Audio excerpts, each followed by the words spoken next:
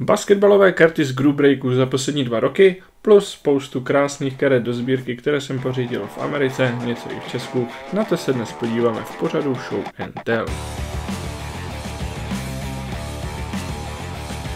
Ahoj, zdravím všechny sběratele, vítejte opět na kanále Absolute Card Collector. Na obrazovce vidíte spoustu NBA karet, které se chystám už nějakou dobu zpracovat. Ta největší hromádka jsou karty z Group Breaku od kluků z Nimburka. Určitě doporučím, i Group Breaky dělají pravidelně NBA a občas i nějaký americký fotbal. Mají stránku cardsnation.cz, kde najdete ty basketbalové karty prodej a můžete si tam koupit stejně tak boxy a balíčky. Ta první hromádka jsou karty, které mi od nich přišly. Dlouho jsem si to u nich okládal, rychle jsem to projel, ani jsem to nějak netřídil, takže si to projdeme spolu, řekneme si pár věcí a pak se mrkneme na karty ze sbírek. Opravdu jsem si to odkládal dlouho, protože na rozdíl třeba od hokeje s prodejem těch basketbalových karet nikam nespěchám, ale na, na začátek jsem si dal tuhle krasavici, je to Luka Dončič na Illusions, je to teda varianta Sapphire, kdy vypadá černě, ale ještě je varianta Black a ta má tady limit. I tak se tahle karta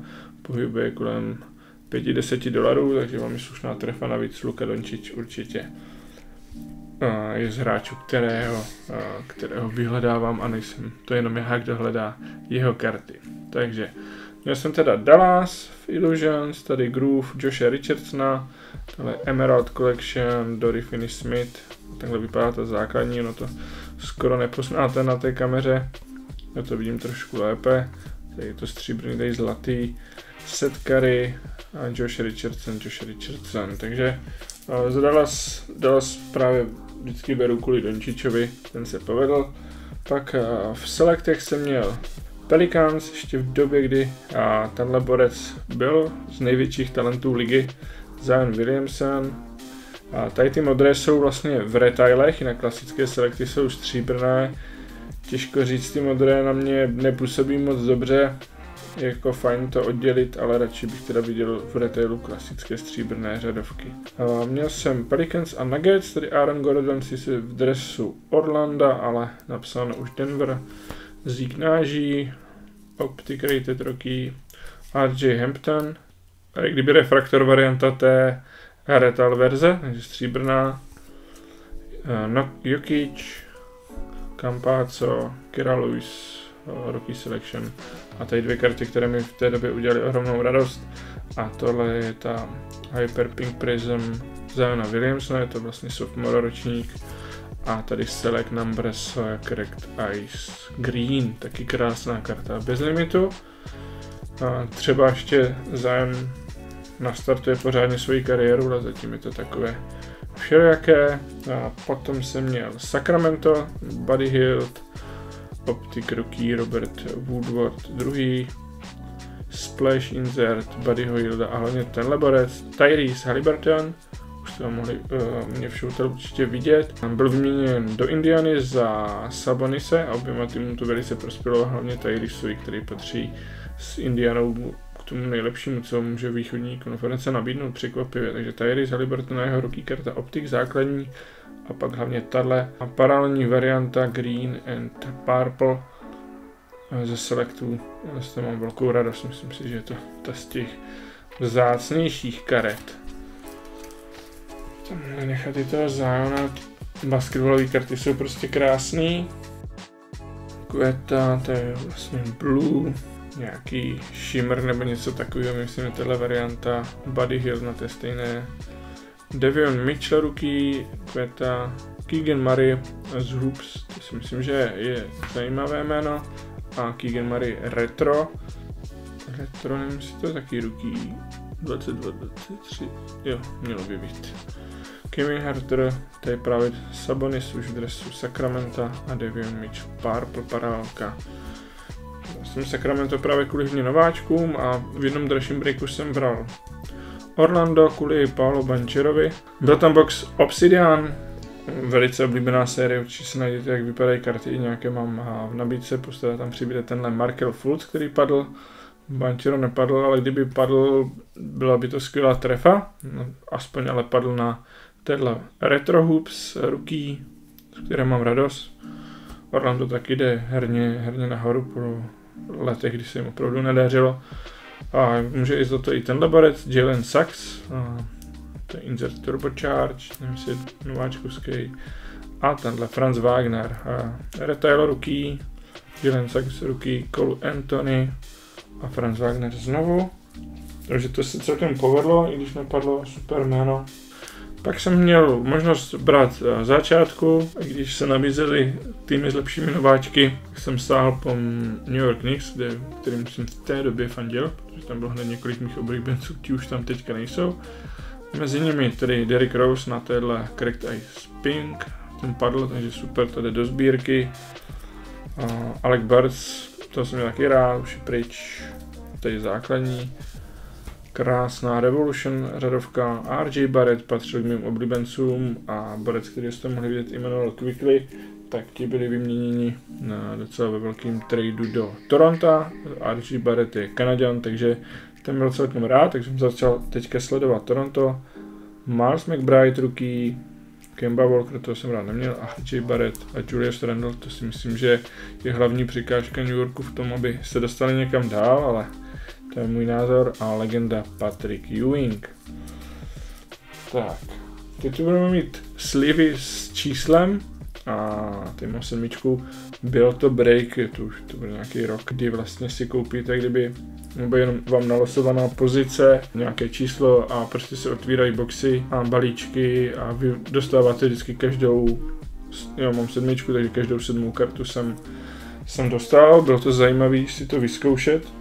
Aha, docela se mi dařilo, protože mi padlo tenhle jmenoval Quickly na Recon. A taková silnější karta, takže karta do sbírky v tomhle modelu je, je jako super. Nikola Jokic, My House, Andre Drummond na Recon, Jimmy Butler, další oblíbenec. Na Contenders Russell Westbrook na Elite, a řadovka Galloway, Triang, další jmenoval Quickly, až je to jako celkem úlet. Tohle samozřejmě mám několikrát, to nevadí. Duncan Robinson, Jameson, James Harden, Lou Williams a opět James Harden, Rui Hachimura, Andre Iguodala, Rudy Gay, RJ Barrett rookie, Tribute uh, z Premium Stock, mám Adebayo, Eric Pascal Winter varianta, tady Correct Ice Blue, rookie, Goga Bitadze, dobrá karta jméno, zatím nic moc nepřevedlo, Peyton Pritchard a pak už se zase vracíme k nákupu týmu, kde jsem si vybral několikrát Miami Heat a měl jsem štěstí, padl můj oblíbenec Jimmy Butler a Crown je krásný karty, opravdu nádherný, tohle je vlastně Asia, Asia Red, myslím, varianta, a, že super. A z mých oblíbených Court Kings padla taky, tohle je písm Pink, jo, můžete vidět to. Tohle je a, růžovou, to logo a, a jméno. Ty Court Kings jsou takový canvas, eh, v canvasovém stylu, taky hodně barevný, ale nádherný karty. A tohle je limitovaná 83 z 99. No plus teda byly další, další karty Miami Heat, Jimmy Butler, Oladipo, Laury, Duncan Robinson, Adebayo, Tyler Hero, Max Truss. Z Contenders Jimmy, Carl Duncan a tady už teda Phoenix Suns, ne tím, co bych úplně sledoval, ale měli tam nějaké nověčky, hlavně tam jak Chris Paul a Devin Booker, nebo tam byl Chris Paul v té době, když jsem kupoval, takže tady Complete Players Chris Paul, Jay Crowder, Paul Smith, právě Devin Booker, Michael Bridges na Illusion a Pit Chris Paul, tady ty drezy, ty vely se mi strašně líbí. Payne, Johnson, Chris Paul, Payne, ale nic většího se Suns nepadlo, myslím, že byla nějaká pozdější volba. Oni mají, myslím, draft, takže vy dostanete pozici a postupně si každý vybírá tým a když to někde na konci, tak už nemáte moc čeho vybírat. A byl jsem z začátku draftu, kde jsem vzal Toronto Raptors, je to z důvodu nováčku, je tam Scotty Barnes a za Toronto Moc jsem ten tým v té době nemusel a teďka je sleduju. Mají na čem pracovat, ale Scottyho Barnese jsem si oblíbil, takže kdyby padl, bylo to fajn, ale nepodařil se, bohužel. Byl tenhle Malakai Flynn. A Pascal Siakam, jediný borec, který mi tam úplně neseděl, tak naštěstí už byl vyměněn do Indiany. Chris Boucher, Pet Siakam, Gary Trent Jr., Kyle Lowry a Pascal Siakam. Ještě vzpomínky na to, kdy vyhráli titul s Kavy Leonardem, to tam právě si jak a Laury byli. Takže to byla hromádka z Group myslím, že se podařilo hned několik uh, zajímavých karet za tu dobu. A, teď se mrknu, co tady mám. Mám tu pár karet, které jsem koupil, kdyby na další prodej. Tady tenhle Teal Explosion, Kavy Leonard, Clippers teďka jedou, takže jsem viděl do budoucnosti, protože tu kartu mám tak půl roku a něco Carmelo Anthony na Recon za LA Lakers, to bude z nějakého lotu, Anthony Davis, a Mosaic Pink za Lakers a v Česku od eh, Lukáše Hajka, sběratel karet CZ, jsem koupil dvě tyto rookie karty, Optic Rated roky 17-18 DeAndre Fox a Bam Adebayo. Myslím, že Fox tím, jak Sacramento začalo hrát, tak jeho cena taky stoupla, takže taková menší investice. Pak tu mám velký lot Janisa Antetokumpa. Koupil jsem ho za pár dolarů a byl jsem nadšený, kolik tam je karet. Většinou, když jsou takovéhle levné loty, tak třeba přijdou špatně zabalené, nebo ty karty no, můžou být poškozené, jsou tam hodně levné, tady se podařilo několik a oni vlastně v Americe jdou po těch kdyby limitovaných vzácných kartách, po ruky kartách a pak tady tyhle levnější řadovky, inzerty, paralelky, tak se snaží prodat co nej, jako v nějakých lotech co nejrychleji, aby, se s tím, aby s tím neměli práci. Takže když máte štěstí, tak můžete vychytat spoustu, spoustu pěkných karet. Tyhle ty Aluminance patří k mým nejoblíbenějším, mají prostě krásné záběry, tak jsem dal na začátek Janis. A tady další nádherná série a to je Revolution a Shockwave, z tohle marky, Zero Gravity, já to jenom projedu tady Optic Express Lane, tady. No, růžová paralelka, to budou zase Essentials, ono to vychází v Chronicles, už jsme to mohli vidět, vlastně jsem otvíral balíček a tam jsou tyhle ty Illusions a, a Profiles a Essentials, všechno dohromady, a i s optikama, prismama, takový zvláštní. Není to moc ceněné, ale zase je to hodně zábavný na otvírání. Optic Air Defense, tady dokonce byla asi jedna do sbírky refraktorek a to je Premium Stock Silver. Hmm, Mosaic Green, tam taky jako sbírám barevné parálky vždycky v color match barvě toho týmu, takže tohle vypadá super. A tohle Phoenix, Optic, Optic a tyhle ty jsou prostě nádherný, ty Blue Velocity z Optic už je vydávají několik let, taky se na něho přemýšlel, vypadá to parádně.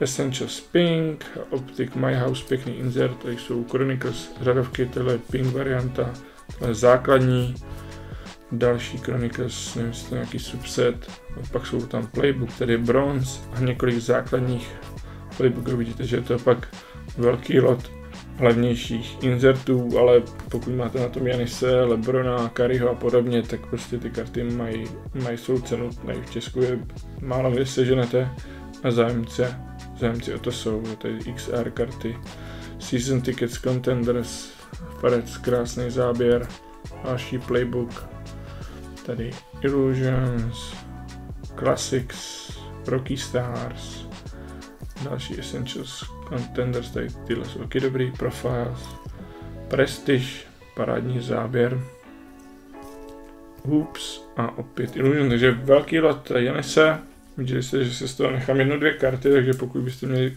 zájem o karty Janise, mám i pár lepších, Určitě se to pokusím dát na svoje sociální sítě aspoň. Tak a teď se mrknem, tady mám hromádku a to už by měly být karty do sbírek, takový zlatý hřeb, tady teda RJ Barrett, Rookie, uh, Liftoff, Insert, Diecut. Uh, už dlouho přemýšlím, že bych sbíral aspoň inserty ze série Revolution nebo paralelky, těžko říct, tak ta série je prostě krásná, už několik let, takže tady RJ Barrett nechávám si do sbírky Rookie Insert Zanix.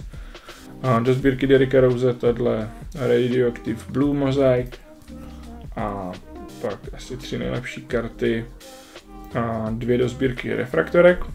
Tady Donors Optic, první ročník a Silver Prism nebo Holo, Holo Silver, prostě refraktor varianta, tady ty nejdražší optiky a na tom Dirk Novicky při své legendární střele, ten jeho fadeaway z jedné nohy.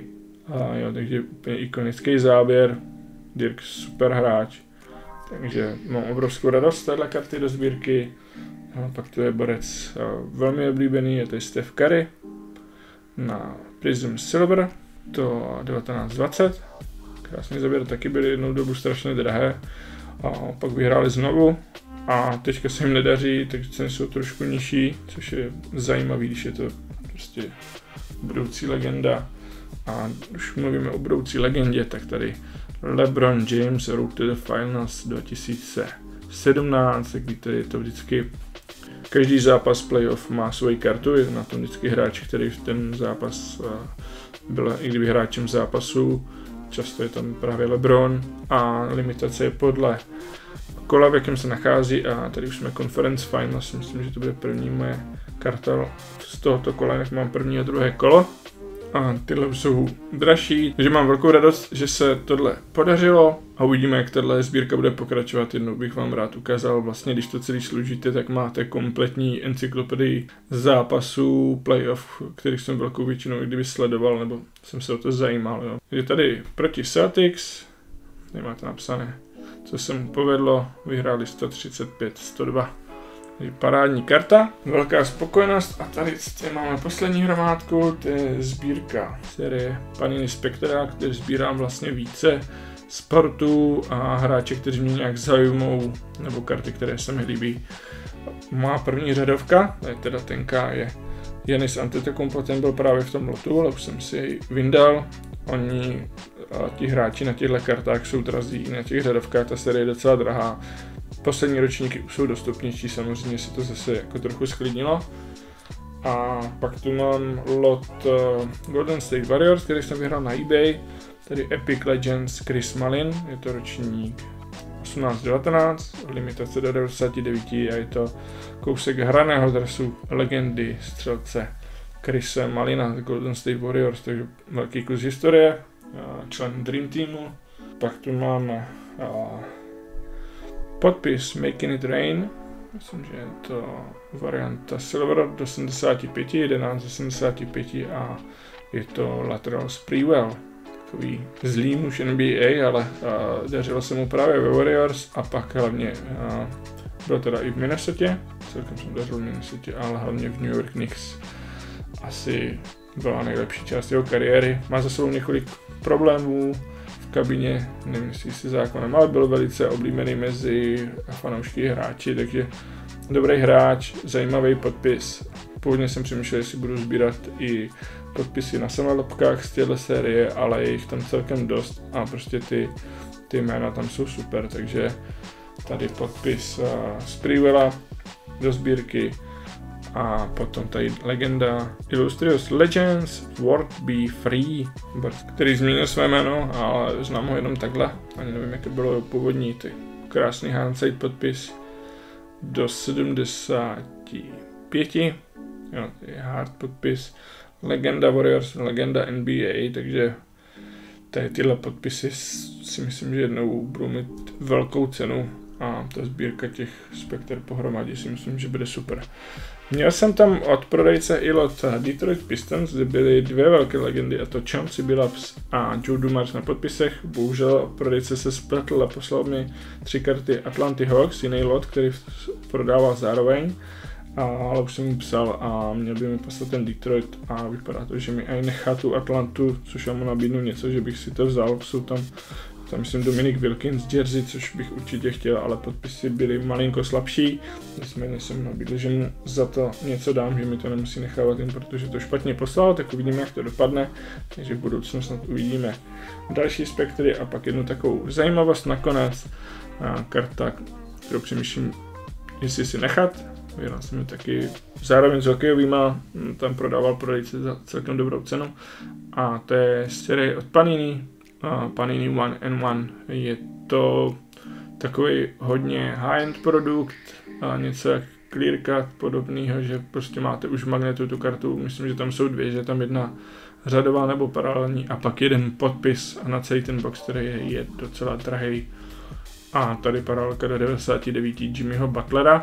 Vidíte, že to má vlastně černý černý magnet ze předu, svoji vlastní samolepku a mají vlastně svoje vlastní magnety, pajiny, jo, vypadá to hezky. Tady malinko teda prosvítá ta černá, což nevím, jestli úplně ideální, myslím, že jste mohli vidět u mě už jinou kartu, která vypadala lépe, myslím Blacka Griffina za Brooklyn. Ale i tak je to super karta, takže tenhle parádní Jimmy zatím zůstává u mě. To je z dnešního basketbalu vše, my si dáme soutěž, kterou uvidíte za chvilku na obrazovce. Po, samozřejmě soutěžíme o hokejové boxy, což je naše hlavní zaměření, ale pokud vás zajímá basketbal, vyhráli byste nějaký z boxu, mm, můžeme se domluvit. A za stejnou cenu bychom vám dali nějakou basketbalovou kompenzaci v podobě boxu nebo balíčku, co byste si vybrali. Takže teď si dáme tu soutěž.